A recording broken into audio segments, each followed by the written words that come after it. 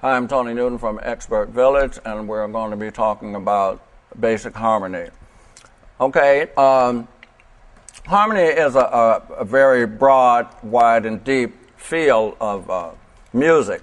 But what we'll do here today is try and touch on some basic techniques so that you understand uh, exactly what harmony is. Harmony is not one chord, harmony means two or more notes uh, playing simultaneously.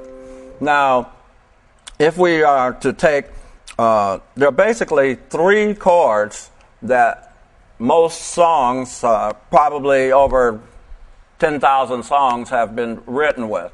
And uh, music in general uh, use these three chords more than any other uh, chords of the seven chords or seven main chords. So if we go, if we take in these chords and harmonies, like if you're in the key of C, which means the, the middle middle note, and we form a chord, we'll talk about intervals, and these chords are made up of thirds. So we have uh, a C, a E, and a G. So if we go up the scale and